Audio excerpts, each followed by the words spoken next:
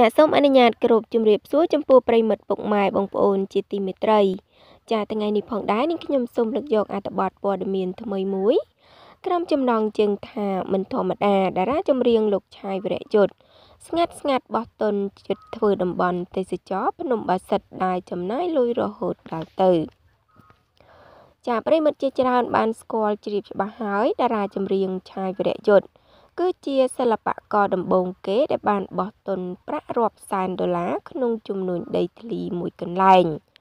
ដើម្បីពង្រឹងមុខរបរខ្លួនឲ្យកាន់តែរឹងមាំក្នុងឆ្នាំ2000ចាក្នុងដើមឆ្នាំ2020នេះ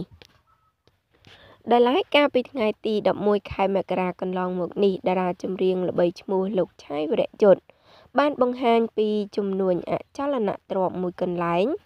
នៅភូមិថ្នល់បន្ទាយសង្កាត់ពងចាចាសង្កាត់ពងសាំងខណ្ឌព្រែកភ្នៅរាជធានីភ្នំពេញ ដែលក្នុងគម្រោងនោះ បានចាយទុនរហូតដល់ទៅជិត3លានដុល្លារក្នុងការសាងសង់ mini villa ដែលជាដើមទុនដ៏ធំសម្បើមស្ទើរតែគ្មានអ្នកជឿថាតារាចម្រៀងរូបនេះហ៊ានបោះទុនធំបែបនេះទេ លោកឆៃវរយុទ្ធបាននិយាយថា តាមពិតទៅគម្រោងវិនិយោគនេះពិតជាចំណាយអស់ជិត3លានដុល្លារមែនប៉ុន្តែមិនមែនជាប្រាក់របស់លោកទាំងអស់នោះទេ ដោយលោកបានចាប់ដៃគូជាមួយលោកអុកញ៉ាចាមែនកានី ក្នុងនោះលោកមានហ៊ុនត្រឹមតែ25%ប៉ុណ្ណោះយ៉ាងណាមិញក្នុងពេលបង្ហាញខ្លួនលើផ្នែកអចលនទ្រព្យនោះ លោកឆាយវរយុទ្ធបានបណ្ដាលភេទជារបស់ខ្លួនទៅចូលរួមយ៉ាងចាត្រសង ធ្វើឲ្យមានការសរសើរយ៉ាងខ្លាំងពីសំណាក់អ្នកជុំវិញខ្លួន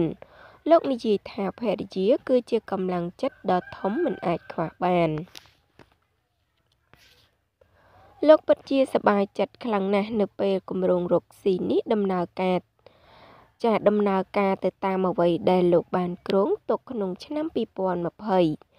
ពីព្រោះគម្រោងនេះលោកបានគិតយូរឆ្នាំមកហើយដាក់ឈ្មោះថាគម្រោង GM ឆាយវរៈយុទ្ធ Style Mini Villa ថ្មីត្បិតតែលោកឆាយវរៈយុទ្ធប្រកាសរកស៊ីលើផ្នែកអចលនទ្រព្យក៏ពិតមែនតែលោកនៅមិនភ្លេចពីអាជីពចម្រៀងនោះទេ លោកនឹងពង្រឹងវិស័យចម្រៀងឲ្យកាន់តែរឹងមាំក្នុង ឆ្នាំ2020តាមរយៈការចេញបទចម្រៀងថ្មីៗដើម្បី ចាតម្រូវចិត្តអ្នកគ្រប់គ្រងចាអញ្ចឹងតកតងនឹងអត្ថបទព័ត៌មានដែលបានជម្រាបជូនបងប្អូននៅពេលនេះក៏សូមបញ្ចប់តែត្រឹមប៉ុណ្ណឹងចាសូមអរគុណរាល់ការតាមដានសន្តាប់និងទស្សនារបស់ប្រិមិត្តពុកម៉ែបងប្អូនផងដែរចាជាចុងបញ្ចប់សូមបងប្អូនជួយចុច Subscribe និងសញ្ញារូបកណ្ដឹងដើម្បីទទួលបានព័ត៌មានថ្មីៗជារៀងរាល់ថ្ងៃពី Channel លីងខ្ញុំផងដែរចាសូមអរគុណសូមគោរពលា